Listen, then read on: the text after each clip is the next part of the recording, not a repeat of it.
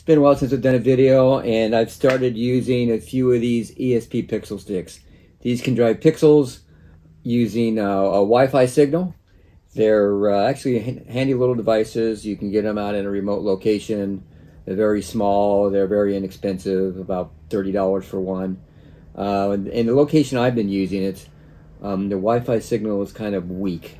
And it's, you know, doesn't, not a huge demand like it would be in my Christmas light show. And so what I've decided to do is experiment with the Wi-Fi uh, card right here, which is the ESP8266.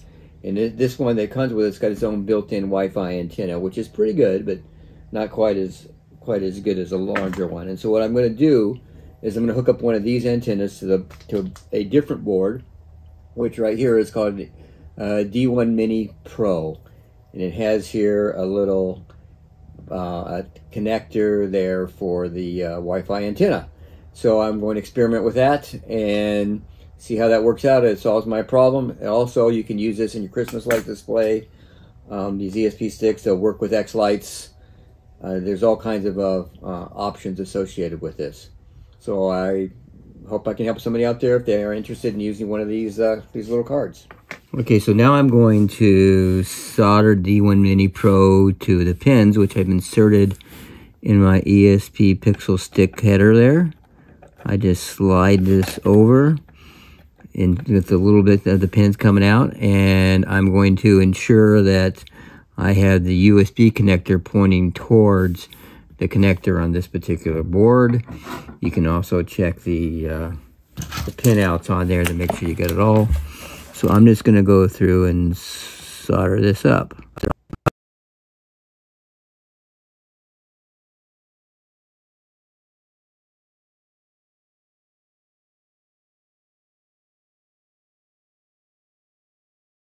Got the header uh, all soldered to the D1 Mini Pro. I can take this off here. And now it is all ready to go. All, all soldered together. Next thing will be to remove that, move that little tiny resistor, which is right here. It's going to take a little bit of effort to do that. Um, it's a real delicate operation. You can't really hurt it. It just takes time. And it's a very, very small component. All right, now I'm going to remove that resistor. Or should I say move it?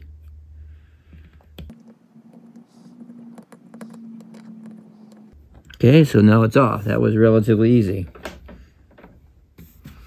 So just to show you how small that is, there's a little bitty resistor in the end of my thumb. Now I'm going to move it at 90 degrees from where it was. All right, so I've uh, assembled the box, uh, put the connectors on it, and I have the ESP8266 with the ESP Pixel stick um, setting aside my little project box. I have a PG7 and PG9 connectors which I drilled a hole just a little bit larger and then use some Gorilla Glue. There it is right there. Super glue to, uh, to stick them in place and that'll waterproof it. You will see the connector for the antenna and I use a 1564 drill bit which is the right size to thread that in there. It's a nice tight fit. Um, and just use one of my ratchets to screw it into place and then I screw the antenna on the outside. I have connected to here the power supply. You'll see it's a 12 volt power supply, 12 and a half amps, 150 watts will be more than enough for what I'm going to put on the end of it. It's a waterproof unit so I can sit outside unprotected. Next step will be to um, program the ESP8266 and I'm going to put WLED on it um, for use in my landscape lighting. I've now connected the ESP8266 to the USB port of my computer. Um, to install WLED software, what you do is you go to installwled.me. Uh, they've made it so easy to install WLED now. Um, it was a much it was a, a several step process before. Now it's pretty much just a one step. So I navigate to the page. You can change the version of the code up to you. What you want to do here, this is the latest uh, stable version. I'm going to click install. Uh, it comes up with the COM port right there um, and I'm going to click connect and it's going to start its install process. I, I got to click in, w, install. Do you want to install? Yeah, existing data will be erased. Yes, I want to install. It's erasing it and then it will install it.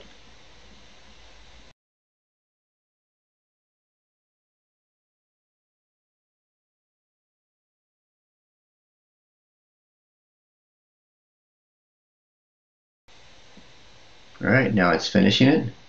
And I'm going to click next.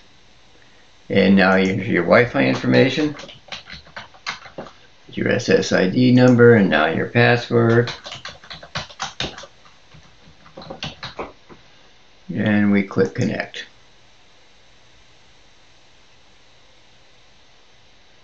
So it sets it automatically for DHCP um, I'm going to visit my device here is what I'm going to do next.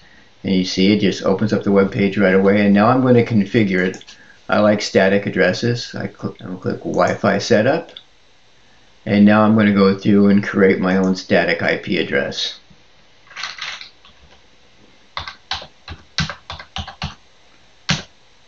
oh I gotta you gotta do each little box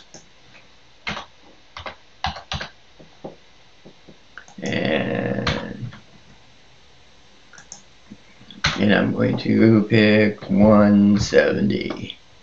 All right, I already know. And now the one another important thing to do is if you don't do this, it won't connect up and it won't work. You have to do your gateway too.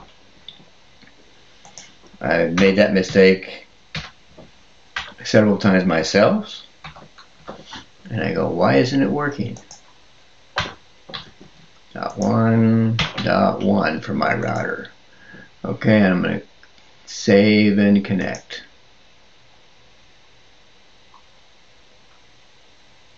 Alright, so now it should be good. Now it's not going to find it. It's going to try and find it because I changed its Wi-Fi address. Now we change this here. 170. And there we go. Now you have on the computer, you have a PC mode. Or what they had here is what you would see on your phone. Alright. The next step you want to configure your LED preferences. One thing to keep in mind is you have a current limiter here, so you can change this. I'm going to change this to 4500 since I have a 5 amp fuse on my ESP pixel stick. I am using 12 volt pixels. Um, this way it'll help kind of try to calculate the right output. This WS2811 is what I have, so 28X, that's proper. Okay, my string length 30 is fine for now. I'm just going to hook up one floodlight to it. Um, and with that, it looks like we're all set. I'm going to click Save. Alright, I'm back. Now when I unplug this from my computer, I can control the lights.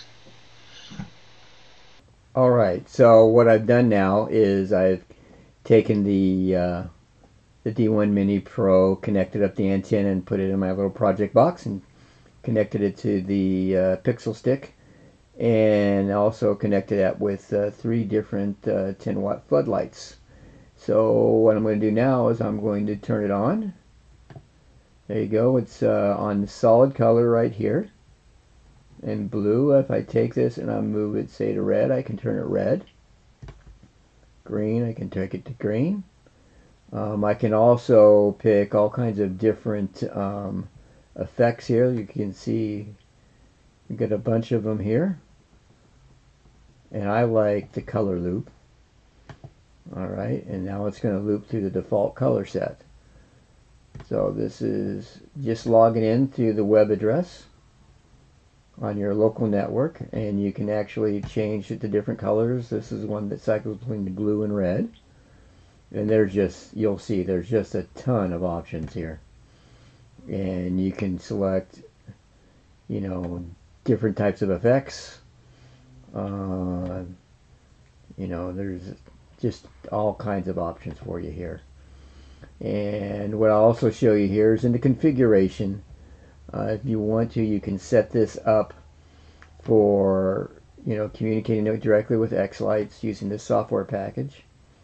And I'll go down here in the DMX network input. You got the E131. You can add this as a controller and xLights, and it'll receive the data over Wi-Fi.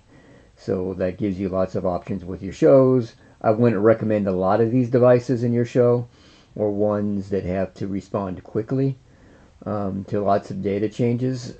So uh, you know, be be mindful that. It is a Wi-Fi connection. It's not a hardwired connection. Most of my show is hard hardwired.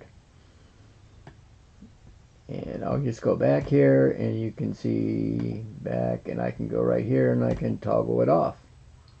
So now we've completed the uh, the little build here with the D1 Mini Pro, and connect that to an ESP Pixel Stick uh, with a new antenna on there, so you have better Wi-Fi gain on it there. I connected it up and I got it through one of the WLED software's uh, color cycles there using an outdoor 12 volt power supply. I hope this is helpful for somebody out there, so have a wonderful day.